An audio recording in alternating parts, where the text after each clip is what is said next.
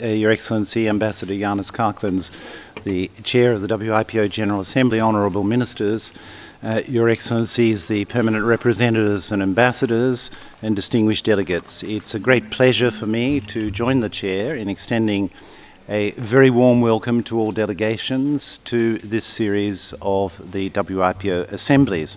I should like at the outset to thank all of the member states for their support for the organisation, which I think is so apparent in the large number of delegates who are present uh, this morning, as well as in the extensive range of activities, uh, cultural and professional activities, uh, that member states have so generously agreed to support and to sponsor throughout this week. Uh, I should like to thank Ambassador Karklins uh, for his great commitment throughout this year as chair of the WIPO General Assembly to the preparation of the 2017 assemblies and to ensuring a positive outcome of this meeting. I take the opportunity also to thank all of the other chairs or the chairs of other WIPO governing bodies, the committees and the working groups for the amount of time that they have made available to the organisation and for their dedication in guiding the work of the organisation. I'm very pleased to report that the membership of the organisation has expanded by three to 191 states now, with the accessions of the Cook Islands, the Marshall Islands, and Timor-Leste. Uh, and I extend a very warm welcome to these new member states of the organisation. Like the membership of WIPO, the number of accessions to the various treaties administered by the organisation has grown in a pleasing manner throughout the past uh, 12 months. A milestone will be uh, reached this week with the accession of Indonesia to, the, uh, to become the 100th contracting party to the Madrid Protocol. So I thank Indonesia for this uh, and thank the Minister who's present with us uh, this morning. Uh, the Madrid Protocol joins now the WIPO Convention, the Paris Convention, the Berne Convention, and the PCT as the fifth treaty administered by the organization, which has 100 or more contracting parties. There are several other uh, treaties which uh, have a number of contracting parties in the 90s. Uh, and so I think we are on track towards meeting the target in the medium term strategic plan of having 12 uh, treaties administered by the organization uh, with more than 100 contracting parties. The financial position of the organisation continues to be robust, with very good results uh, achieved in the first year of the current biennium of 2016-2017. In 2016, we finished the year with a surplus, an overall surplus of 32 million Swiss francs. That compared to uh, the result in the preceding year, 2015, of an overall surplus of 33 million Swiss francs. And since we are now in October, we are reasonably confident that uh, this year, 2017, the second year in the biennium, will see a comparable result to that achieved last year. The good results uh, in, of the last several years uh, have enabled us to build the net assets of the organisation. They stood at the end of 2000 uh, 16 at 311 uh, million Swiss francs compared to 279 million Swiss francs uh, at the end of the preceding year, 2015. And in particular, we have been able to build the uh, liquid component of net assets, thus going some way, a long way towards meeting the target set by uh, the member states for the reserves to be at, uh, to move from 22% to 25% uh, of biennial expenditure.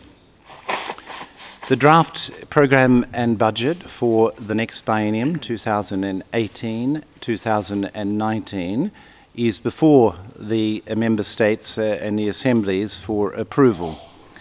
We are projecting a, an increase in revenue, an estimated increase in revenue of 10.4%, but we have uh, contained our request for authorisation for expenditure to an increase of 2.7%. Uh, in line, uh, and in particular in line with the uh, consistent requests from member states, we have contained the increase in staff costs to 0.8%, uh, which we consider to be an achievement in the context of uh, rapid growth for uh, the services of the organisation.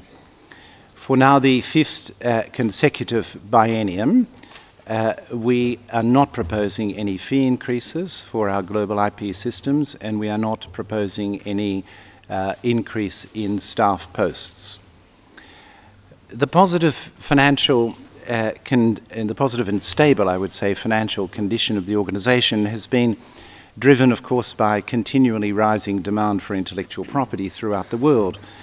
Uh, but we should also acknowledge, I think, uh, the role uh, played by the attractiveness and the soundness of the global IP systems administered by the organization, namely the Patent Cooperation Treaty, the Madrid System for Marks, and the Hague System for Designs, that have been put in place over the life of this organization. Uh, these systems provide the best means uh, for managing the rising demand for intellectual property worldwide, uh, and they also provide the best means for obtaining effective intellectual property protection in the global market. Uh, they're the financial lifeblood of the organization, but they do depend upon member state participation. That participation has been steadily increasing, with now 152 contracting parties to the PCT, soon 100 to the Madrid system, and 52 to the latest act of the uh, Hague system. But there's still a long way to go, with important parts of the world uh, that missing or absent, and none of the systems has reached its full uh, potential. Uh, I would urge all member states to consider very seriously the benefits of these systems and the possibility of joining them if they have not already done so.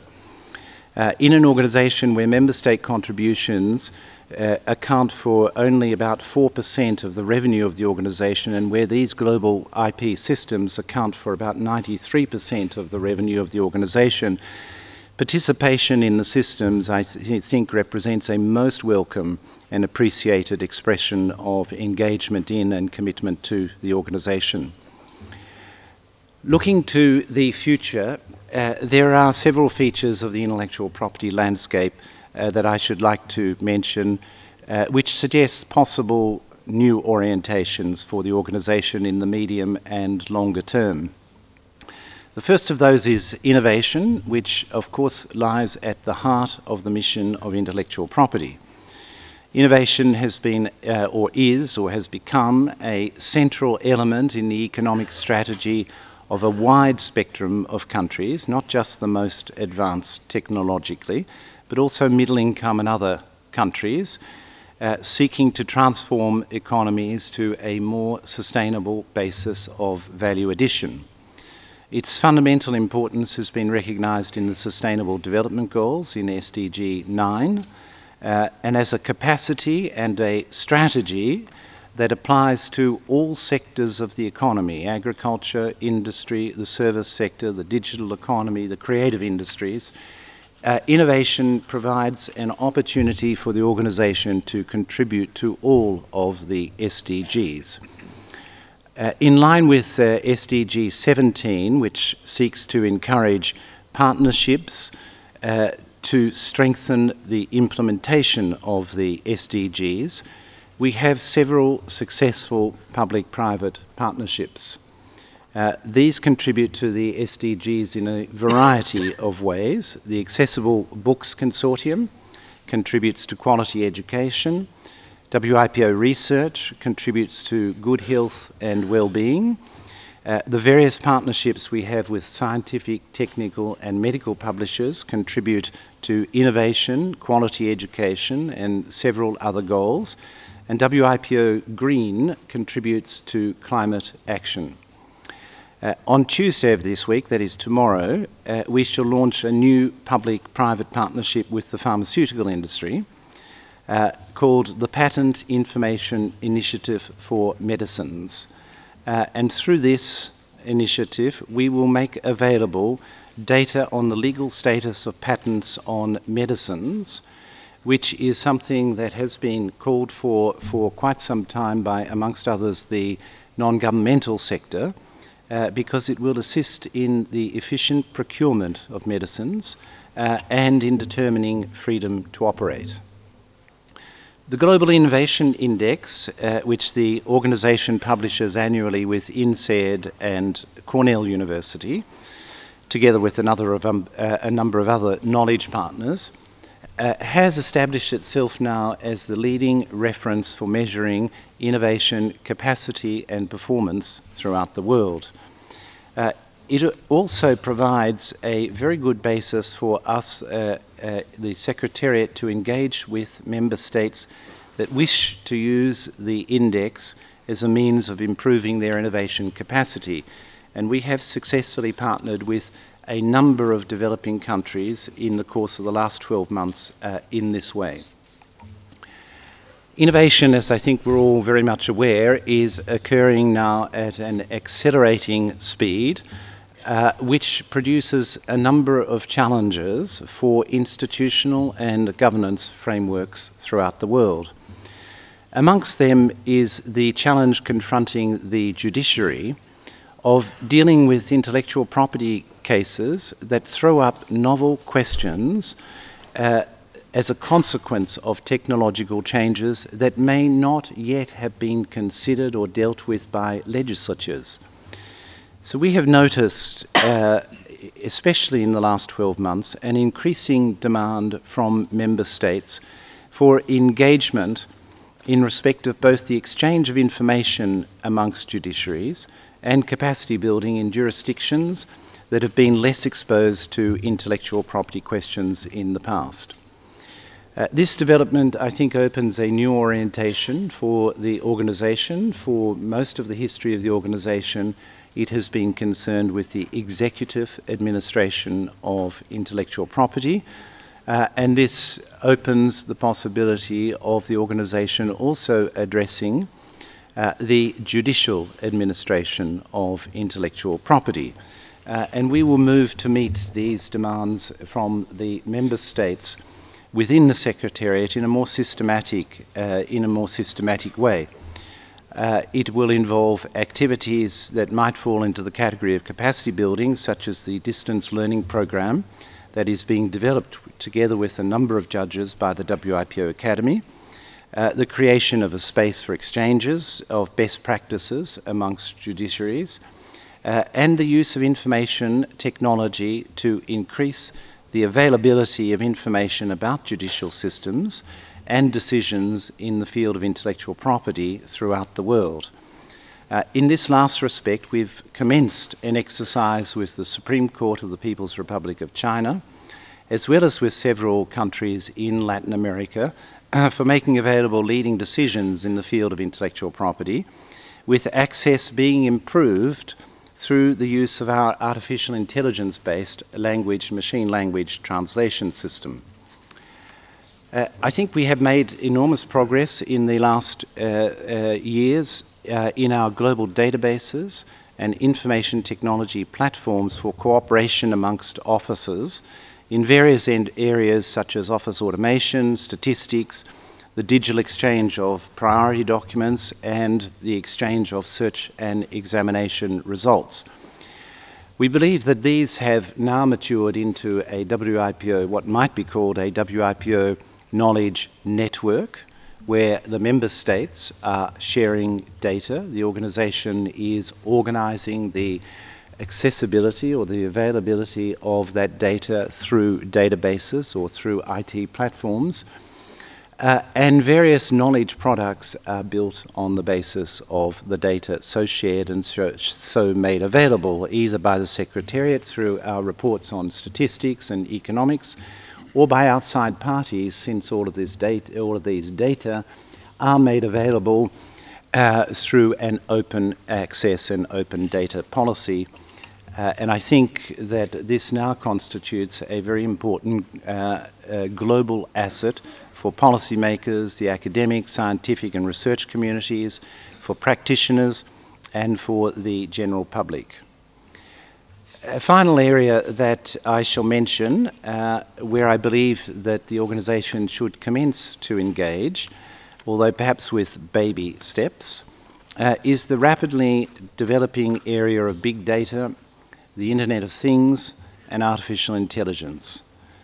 Now, the area, of course, has enormous implications and a multiplicity of dimensions, many of which lie well beyond the focus of intellectual property. And I think considerable care will need to be exercised to ensure that we do not stray from the mandate of the organisation. but one focus of attention could be the increasing use of artificial intelligence in intellectual property administration we have developed several uh, applications uh, in this regard, in translation, as I've mentioned, in classification, uh, and in image search searching. And I know that a number of other intellectual property officers are likewise working on different applications. So in order to keep intellectual property administration abreast of the latest technological developments, it would be useful to develop, if we were to develop, develop mechanisms for sharing information about our respective work, as well as for taking advantage of each other's work and avoiding duplication. A different side of the coin is the impact of the classical intellectual property system on big data and artificial intelligence. Uh, and in particular, how is the intellectual property system performing in this area in the discharge of its basic mission of encouraging innovation, encouraging and diffusing innovation? There are uh, many questions here, of course, and our knowledge base is uh, only just developing. Uh, but it may be useful to advance our common understanding of the questions through more international exchanges of information on developments and practices. I would like to thank um, once again the member states for all of their support, which I think uh, ensures the vitality and the success of the organisation. And I would like also to pay tribute to my colleagues, uh, the staff of WIPO, for their dedicated and professional work. We have many fine professionals in the Secretariat of WIPO uh, who have contributed contributed to the excellent progress that's been made and to some outstanding achievements. Thank you very much.